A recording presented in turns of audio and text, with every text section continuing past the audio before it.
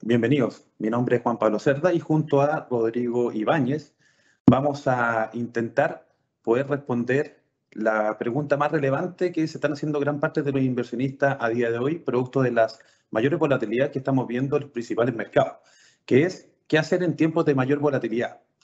Para lo cual, Rodrigo nos va a compartir cuál es la visión que tenemos en Banchile, Administradora General de Fondos, junto con las recomendaciones que nosotros le estamos dando a nuestros clientes en estos momentos de mayor volatilidad. Rodrigo.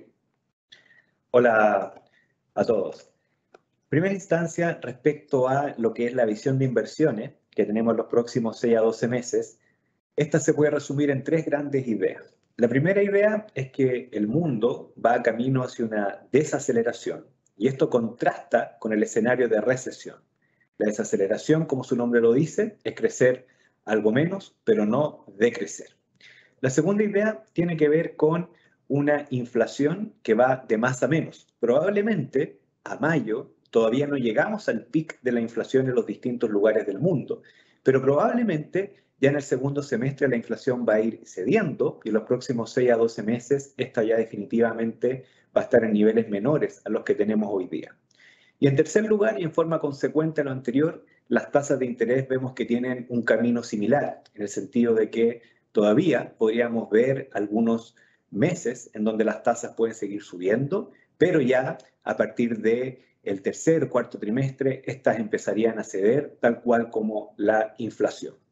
¿Qué implica esto desde el punto de vista de las grandes clases de activos? Si en los próximos 6 a 12 meses estamos viendo una desaceleración, tasas e inflación que de más a menos, deberíamos ver que, en primer lugar, los resultados corporativos debieran moderarse, no decrecer, sino moderarse. Y en particular, si el año pasado crecieron un 50% a nivel global, este año lo debieran hacer en torno a un 6 o un 8%. En segundo lugar, también debiéramos ver que la renta fija de mejor calificación crediticia se vería algo más beneficiada si las tasas empiezan a ceder y si es un ciclo de desaceleración, ya que en ese caso los spreads corporativos se abrirían, pero no tanto como aquellas clases de renta fija de mayor riesgo de crédito. ¿Qué es lo que hemos hecho en términos de nuestros sesgos de inversión? Hoy día, como tenemos una convicción de que las tasas van a ir de más a menos, al igual que la inflación y hay desaceleración, pero no tenemos todavía tanta claridad respecto al momento exacto en que eso va a ocurrir, hemos decidido mantener nuestras posiciones en acciones y bonos y de un punto de vista más bien neutral. Y en términos de regiones, creemos que este escenario es más coherente con tener exposición en renta variable en Estados Unidos, hacia emergentes en Latinoamérica y por ahora todavía tener una neutralidad entre las clases de renta fija de high yield e investment grade, como así también en los activos chilenos dentro de los portafolios de inversión. Bueno, ¿y esto cómo se, se traslada principalmente a nuestra recomendación?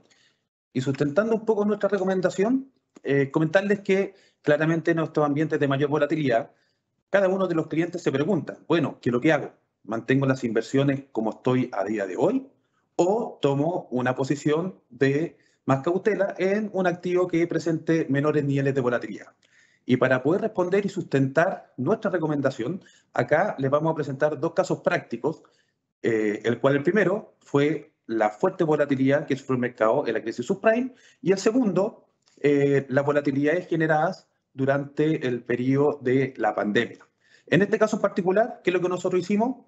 Dos ejemplos en los cuales representan bastante bien qué es lo que están, qué es lo que están viendo los clientes a día de hoy. El ejemplo en qué consta. Cliente invierte un millón de pesos un día antes que estalle la crisis subprime en Estados Unidos y en la parte más baja del mercado que incorpora las pérdidas cercanas a un 31% durante el 22 de septiembre del 2008 hasta el 28 de octubre del, del mismo año, su capital de un millón de pesos se transformó en 693 mil pesos. Por lo tanto, una pérdida cercana a un 31%. Y eso básicamente lo mismo que hoy día varios clientes se están preguntando. Bueno, el resultado es básicamente ver qué fue lo que pasó con las dos decisiones de inversión que puede tomar un cliente en periodos de un año después de eso, tres años y cinco años. Como ustedes lo pueden ver en la tabla, eh, en la tabla que está en la parte inferior, si el cliente que invirtió en el portafolio activo agresivo hubiera continuado en el portafolio activo agresivo, en un año ya hubiera recuperado más que su capital inicial.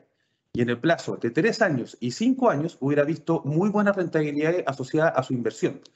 Pero por otro lado, los clientes que tomaron la decisión de trasladar esos 693 mil pesos a un fondo money market, en un año solamente recuperaron algo cercano a 35 mil pesos.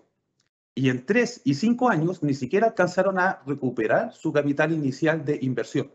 Y este ejemplo es bastante parecido a lo que ocurrió eh, durante la crisis del coronavirus durante el año 2020.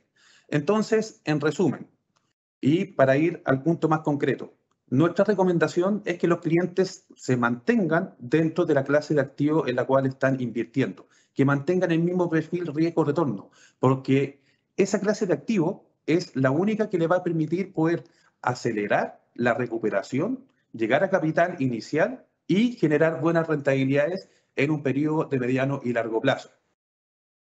Hace un cambio a otro perfil, gana por el lado de tener menos volatilidad, pero pierde la capacidad de poder recuperar de manera más rápida las pérdidas generadas por la volatilidad del mercado. Por lo tanto, eh, en este escenario base, nosotros los invitamos a que contacten con sus ejecutivos habituales de inversión y ellos les pueden dar mayores detalles respecto a nuestra visión de mercado y cómo lo estamos implementando a través de los diferentes portafolios activos.